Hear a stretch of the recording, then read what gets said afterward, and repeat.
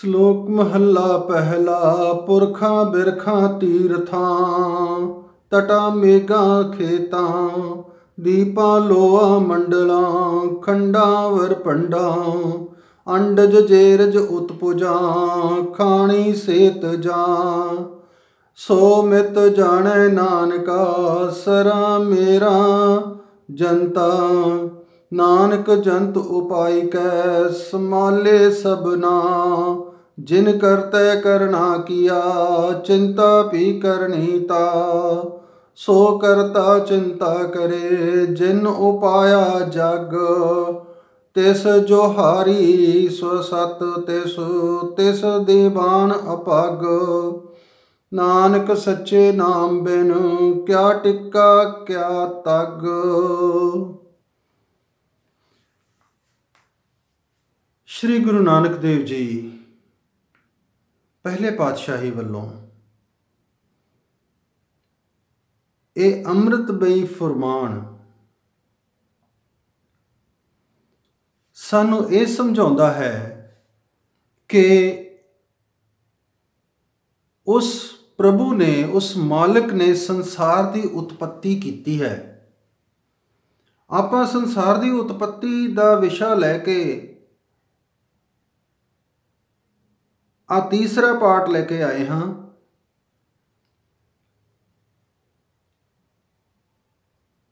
ਜੋ ਵੀ ਆਪਾਂ ਪਹਿਲਾਂ ਪੜਿਆ ਸੁਣਿਆ, ਵੇਖਿਆ, ਉਸੇ ਨੂੰ ਅੱਗੇ ਤੋਰਦੇ ਹਾਂ। ਜੋ ਪਹਿਲਾਂ ਆਪਾਂ ਪੜਿਆ ਉਸ ਨੂੰ ਨਾ ਦੁਹਰਾਈਏ, ਤੁਸੀਂ ਪਿਛਲੀਆਂ ਵੀਡੀਓਜ਼ ਦੇਖ ਸਕਦੇ ਹੋ। ਬਾਣੀ ਦੇ ਇਸ ਫਰਮਾਨ ਦੇ ਵਿੱਚ ਗੁਰਦੇਵ ਪਾਤਸ਼ਾਹ ਫਰਮਾਉਂਦੇ ਹਨ, ਪੁਰਖਾਂ, ਬਿਰਖਾਂ, ਤੀਰਥਾਂ ਟਟਾਂ ਮੇਗਾ ਖੇਤਾਂ, ਦੀਪਾਂ, ਲੋਆਂ, ਮੰਡਲਾਂ, ਖੰਡਾਂ, ਵਰ ਪੰਡਾਂ।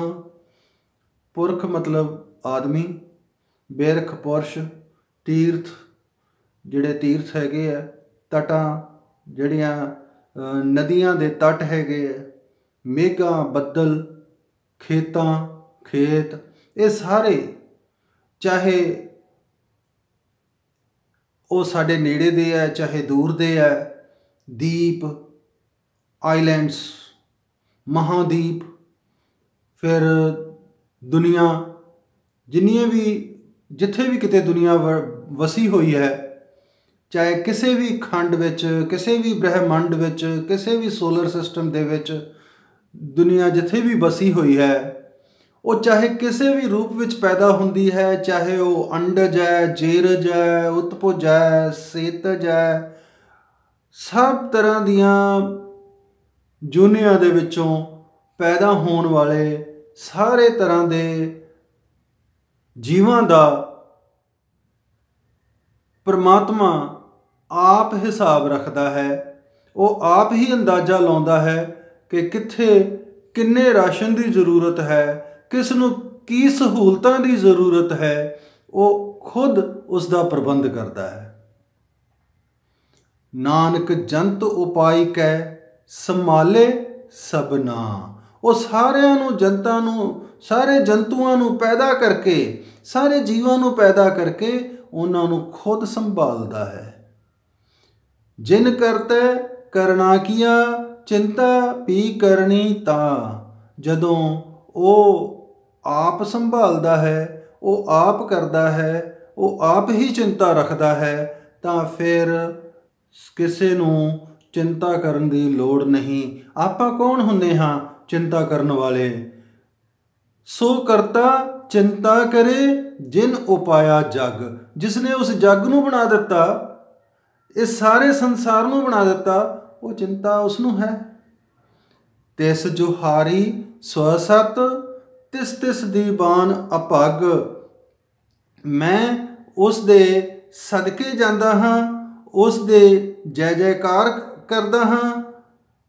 ਮੈਂ ਉਸ ਦੀ ਸਿਫਤ ਸਲਾਹ ਕਰਦਾ ਹਾਂ ਕਿ ਉਹ ਪ੍ਰਭੂ, ਤੂੰ ਹਰ ਜੀਵ ਨੂੰ, ਹਰ ਪ੍ਰਾਣੀ ਮਾਤਰ ਨੂੰ ਸਹੂਲਤਾਂ ਦਿੰਦਾ ਹੈ, ਰਾਸ਼ਨ ਪਾਣੀ ਦਿੰਦਾ ਹੈ ਉਸ ਦਾ ਰਿਜ਼ਕ ਦਿੰਦਾ ਹੈ ਤੇ ਤੇਰੇ ਤੇ ਬਲਹਾਰ ਜਾਈਏ ਅਸੀਂ।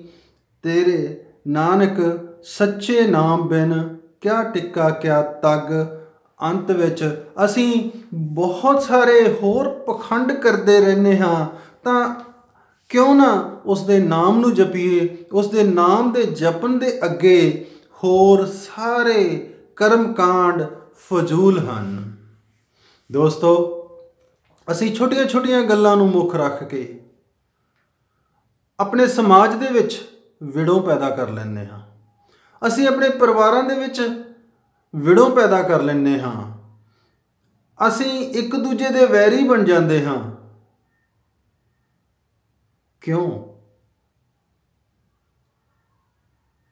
ਕਿਉਂ ਅਸੀਂ ਕਹਿੰਦੇ ਹਾਂ ਕਿ ਉਸ ਬੰਦੇ ਨੇ ਸਾਡੇ ਨਾਲ ਧੋਖਾ ਕੀਤਾ? ਮਾਵਾਂ ਤੋਂ ਪੁੱਤ ਨਾਰਾਜ਼ ਹੋ ਜਾਂਦੇ ਆ, ਪੁੱਤਾਂ ਤੋਂ ਮਾਵਾਂ ਨਾਰਾਜ਼ ਹੋ ਕੇ ਚਲੀਆਂ ਜਾਂਦੀਆਂ। ਕਿਉਂ? ਕਿਉਂਕਿ ਅਸੀਂ ਉਸ ਬਾਣੀ ਤੋਂ ਦੂਰ ਹੋ ਗਏ ਹਾਂ। ਅੱਜ ਲੋੜ ਹੈ ਇਸ ਨੂੰ ਪੜ੍ਹ ਕੇ ਸਮਝਣ ਦੀ, ਤਾਂ ਕਿ ਕਿਸੇ ਵੀ ਪਰਿਵਾਰ ਦੇ ਵਿੱਚ ਕੋਈ ਖਲਲ ਨਾ ਪਵੇ, ਕਿਸੇ ਦੇ ਕਿਸੇ ਨੂੰ ਕਿਸੇ ਦੇ ਗੱਲ ਬੁਰੀ ਨਾ ਲੱਗੇ, ਕਿਉਂਕਿ ਦੇਣ ਵਾਲਾ ਪਰਮਾਤਮਾ, ਲੈਣ ਵਾਲਾ ਪਰਮਾਤਮਾ ਆਦਮੀ ਕੌਣ ਹੈ ਕਿਸੇ ਨੂੰ ਦੇਣ ਵਾਲਾ ਜਾਂ ਕਿਸੇ ਤੋਂ ਖੋਣ ਵਾਲਾ? ਆਦਮੀ ਦੀ ਚਿੰਤਾ, ਹਰ ਜੀਵ ਦੀ ਚਿੰਤਾ ਉਸ ਨੂੰ ਹੈ ਉਸ ਨੇ ਆਪਣੇ ਕੋਲ ਰੱਖੀ ਹੈ ਤਾਂ ਫਿਰ ਆਪਾਂ ਨੂੰ ਨਹੀਂ ਲੜਨਾ ਚਾਹੀਦਾ। ਨਹੀਂ ਕਿਸੇ ਨਾਲ ਕੋਈ ਵੈਰ ਭਾਵ ਰੱਖਣੀ ਚਾਹੀਦੀ। ਦੋਸਤੋ, ਮੈਂ ਕੋਈ ਬਹੁਤ ਗਿਆਨੀ ਨਹੀਂ ਹਾਂ, ਪਰ ਮੈਂ ਆਪਣੇ ਆਲੇ ਦੁਆਲੇ ਦੇਖ ਕੇ ਜਿਹੜੀਆਂ ਗੱਲਾਂ ਤੋਂ ਮੇਰੇ ਦਿਲ ਵਿੱਚ ਚਿੰਤਾ ਪੈਦਾ ਹੁੰਦੀ ਹੈ, ਮੈਂ ਉਹਨਾਂ ਨੂੰ ਲੈ ਕੇ ਤੁਹਾਡੇ ਸਾਹਮਣੇ ਆਉਂਦਾ ਹਾਂ। ਇਸੇ ਤਰ੍ਹਾਂ ਹਰ ਹਫ਼ਤੇ ਮਿਲਣ ਦਾ ਬਲ ਬਖਸ਼ੋ, ਪ੍ਰਮਾਤਮਾ ਜੀਓ। ਸਾਰੇ ਵੀਰਾਂ ਭਰਾਵਾਂ ਨੂੰ ਅਸੀਂ ਇਸੇ ਤਰ੍ਹਾਂ ਮਿਲਦੇ ਰਹੀਏ। ਇਹ ਇਸ ਸਾਲ ਦੀ ਆਖਰੀ ਵੀਡੀਓ ਹੈ। ਸਾਰੇ ਵੀਰਾਂ ਨੂੰ ਬੇਨਤੀ ਹੈ ਕਿ ਇਸ ਨੂੰ ਵੱਧ ਤੋਂ ਵੱਧ ਲਾਈਕ ਕਰੋ ਸ਼ੇਅਰ ਕਰੋ ਅਤੇ ਕਮੈਂਟਸ ਵੀ ਦਿਓ। ਇਸ ਦੇ ਵਿੱਚ ਹੋਰ ਜੋ ਵੀ ਤੁਸੀਂ ਬਦਲਾਵ ਚਾਹੁੰਦੇ ਹੋ, ਉਹ ਤੁਸੀਂ ਥੱਲੇ ਕਮੈਂਟਸ ਦੇ ਵਿੱਚ ਲਿਖ ਸਕਦੇ ਹੋ। ਮੈਂ ਉਸ ਤੇ ਜ਼ਰੂਰ ਗੌਰ ਕਰੂੰਗਾ। ਅੰਤ ਵਿੱਚ ਫਤਿਹ ਦੀ ਸਾਂਝ ਪਾਈਏ। ਵਾਹਿਗੁਰੂ ਜੀ ਕਾ ਖਾਲਸਾ ਵਾਹਿਗੁਰੂ ਜੀ ਕੀ ਫਤਿਹ।